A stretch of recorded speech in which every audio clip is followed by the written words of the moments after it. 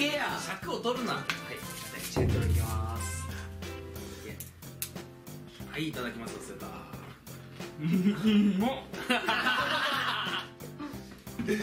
まいなリアクションがと溶けましたよだってあ飲むな飲むなくてご飯溶けましたよって最高じゃん。お母さん。のご飯とどっちが美味しいどん。くらいの点数点数何対何いやお一週間我慢できますもん親の飯だと なんてとかダメ。なんてとかダメ。やばこれ。やばい。あほんま。どんどん食べていいよ。いやいや俺の袋いないけど光さんに。すいませんいただきます佐々木の食べっぷり見てたらまたしたやばこれやば。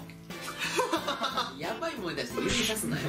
いやーでもこれ今7人ですか全員で。そうですね。あ7人で10万円使い切れまで商品ますからね。あい。いでも7人で10万円でも1人1万円超えますからね。うん。ってこと考えたら結構きついっていう。あちょっと。15巻ぐらいで終わりなんでもう結構いきましたよ。全然いけますね。3種類か。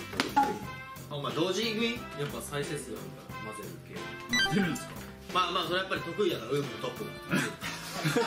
そういうことでしょ？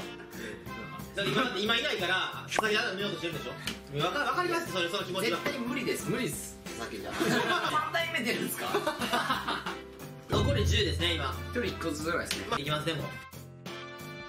うこれでようやく半分ぐらいが。終わったと。まだ半分ですか？まあでも一応まあ前も言ったように奥の手が。まあここあるんでまあ一応さっき待ち時間の時にもう僕呼んでおいたんでデリバリーしてきました。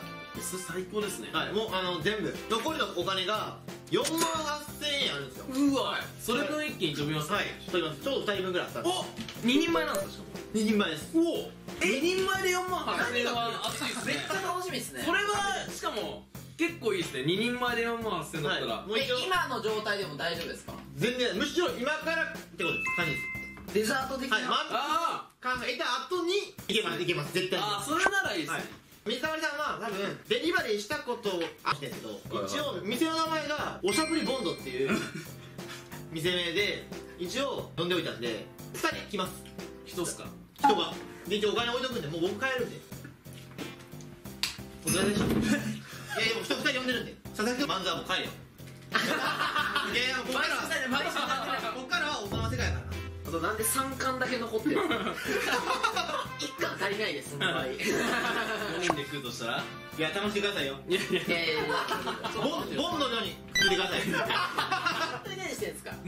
呼んだんすか？ますもんほんまに。何してんすか？ほんまに呼んでます。何してんすか？いやいやいやほんま楽しんでくださいほんま。いやいつもいつもね頑張ってるんで。いやだから ダメだ。俺だから違うだから。はめ込んで二の前になってほしくない。んですよ二の前にあの事件の。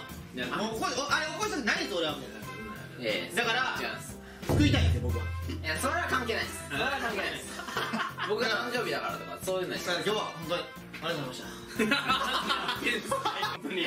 最後ふざけまくって帰ろうとしてる。ましたいやいや一応デリバリーで10万円使い切ったんで。